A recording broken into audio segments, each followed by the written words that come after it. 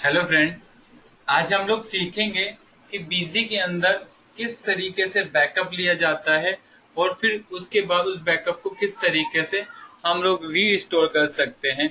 आज हम इस सेशन के बारे में सीखेंगे। फ़र्स्ट ऑफ़ ऑल हमें पता होना चाहिए बैकअप क्या होता है और बैकअप का यूज़ क्या होता है। सबसे पहले बैकअप का मतलब होता है कि अपने डाटा को सिक्योर करना कि अगर आपकी एक लोकेशन का डाटा अगर कुछ प्रॉब्लम के मारे खराब हो जाए तो जो आपने बैकअप लिया है उस डाटा को रीस्टोर करके आगे प्रोसेस कर सके। तो हर केसेस के अंदर लोग बैकअप ज़रूर लेते हैं ताकि उनका डाटा सेफ़ रहे सिक्योर रहे। तो हम भी बिज़ी के अंदर इस तरीके से बैकअप के बारे में डिस्कस करेंगे। तो फ़र्स्ट ऑफ़ ऑल बैकअप लेने के बिज़ी के अंदर दो तरीके हैं। एक मैनुअली तरीका है जिसे बोलते हैं बैकअप आप इस बैकअप के अंदर आएँगे और जो भी कंपनी का आपका बैकअप लेना है उस कंपनी का यहाँ पर डाल दीजिए। जैसे मुझे आ, ये अमित कुमार की कंपनी का बैकअप लेना है। क्लियर है? या फिर मुझे एडवांस कोर्स ट्रेनिंग क्लासेस का बैकअप लेना है। मैंने इस पर क्लिक करा।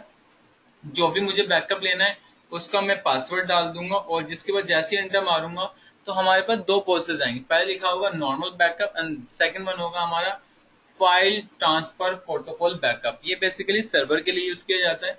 अभी हम इस सेशन में सर्वर के बारे में नहीं सीखेंगे। उसके बाद ये कहता है, जो बैकअप बन गया है उस किस लोकेशन पे रखना है? मैंने बोला डेस्कटॉप पे रखना है और ओके कर दीजिए. हो गया। उसके बाद पूछता है सिलेक्ट फाइनेंशियल ईयर या फिर ऑल फाइनेंशियल तो मैक्सिमम केसेस में हम बैकअप ऑल फाइनेंशियल ईयर करके रखते हैं। इस पर क्लिक करेंगे तो हमारा यहाँ बैकअप जाना स्टार्ट हो जाएगा और विद इन मिनट में हमारा बैकअप हो जाएगा।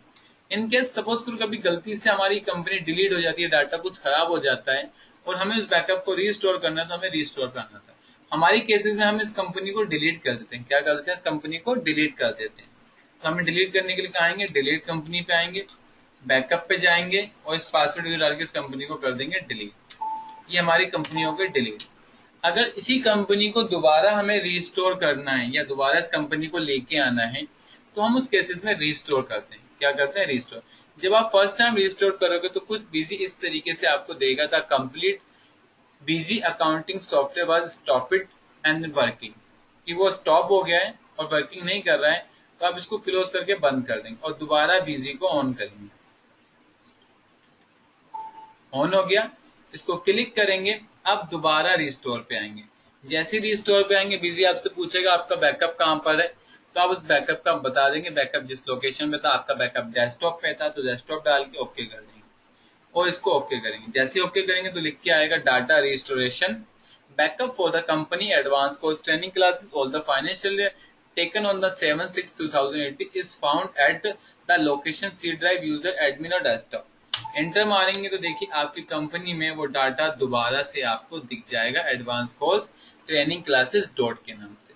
इसे कहते हैं मैनुअली बैकअप क्या कहते हैं इसे? मैनुअली बैकअप लेकिन बहुत सी कंपनियों में क्या होता है? ऑटोमेटिक बैकअप चलता है। कि जैसे कंपनी बंद होती है, वो बैकअप लेने के लिए आपको बोल देता है। अगर आप भी चाहते हैं ऑटोमेटिक बैकअप लेने के लिए तो सबसे पहले आपकी कंपनी को ऑन करना पड़ेगा, उसके बाद आना पड़ेगा एडमिनिस्ट्रेटर के अंदर। कॉन्फ़िगरेशन के अंदर आपको नेक्स्ट टॉपिक मिलेगा बैकअप कॉन्फ़िगरेशन क्या मिलेगा आपको? बैकअप कॉन्फ़िगरेशन आप बैकअप कॉन्फ़िगरेशन पे क्लिक करेंगे तो सबसे पहले लिखा होगा बैकअप ये कहलाता है डेली बैकअप इसका मतलब होता है, इसे हम ऑटोमेटिक बैकअप भी बोलते हैं या डेली बेस बैकअप जैसे ही आप कंपनी सेव करोगे तो आपका बैकअप ऑटोमेटिक जाना शुरू हो जाएगा। जैसे मैंने बोला कि आप डी ड्राइव में जाओ और एक मंडे नाम का फोल्डर बना दो। तो ये डी ड्राइव में जाएगा, मंडे डेट डाटा नाम का फोल्डर बनेगा, डाटा वन के नाम से, उसके अंदर मंडे का फोल्डर बनेगा। ये क्या बन जाएगा? मंडे का फोल्डर। इसको कॉपी करो, कंट्रोल वी करके पेस्ट कर दो। इसको कर दो ट्यूसडे, इसको कर दो वेनेसडे थर्सडे इसको कर दो फ्राइडे इसको कर दो सैटरडे इसको कर दो संडे देखो, जैसे इंटर मारते मैसेज आता है directly specified D drive is does not exist do you want to create this folder मैंने का यस क्लियर है? और यहाँ पर लिखा होता है prompt for the backup at the time of closing company कहता है कि जब भी कंपनी बंद हो तो हमसे हमेशा पूछे कि do you want to take backup और नॉट अगर मैं गेस्ट करूँ तो बैकअप ले और नहीं करूँ तो ना करें। लेकिन नीचे लिखा होता है enforce backup at the time of closing the backup इसका मतलब होता है कि आपको बिना बैकअप लिए तो जाना ही नहीं है। तो आप इस टॉपिक का यस करके आगे बढ़ सकते हैं। क्लियर मेरे केसेस में इस टॉपिक को मैं यूज़ नहीं करता बहुत से लोग मुझसे पूछते हैं, सर, जब आप बैकअप लोगे तो उस दिन का बैकअप जाता है? ये सारा डाटा बैकअप जाता है। बैकअप का मतलब होता है, जो भी आपने टिल डेट या टाइम तक जो भी काम करा वो सारा बैकअप चला जाता है उसके अंदर। ठीक है? फिर अगली बार तुम बैकअप लेते हो तो जो उस वक्त तक का काम हुआ वो उस बैकअप में स्टोर हो जाता है। मतलब ए टू जेड जितना भी काम होता है, सारा उस बैकअप के अंदर स्टोर होता रहता है।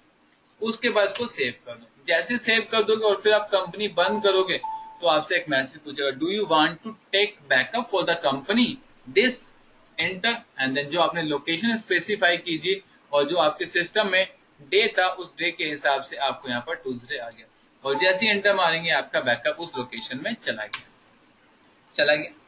इसे कहते हैं ऑटोमेटिक बैकअप दूसरा तरीका, बहुत से लोग कहते हैं हमें सारी कंपनियों का बैकअप एक साथ लेना है।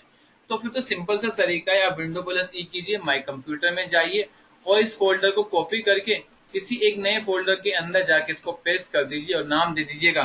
बैकअप और आज की डेट डाल दीजिएगा। और कंट्रोल पी करके पेस्ट कर ये कहलाता है ऑटो ऑल कंपनी बैकअप ठीक है? तो अब इस कम, इस तरीके से आप बीजी के अंदर बैकअप ले सकते हैं। तो आज के सेशन में हमने सीखा कि हम किस तरीके से बीजी के अंदर बैकअप ले सकते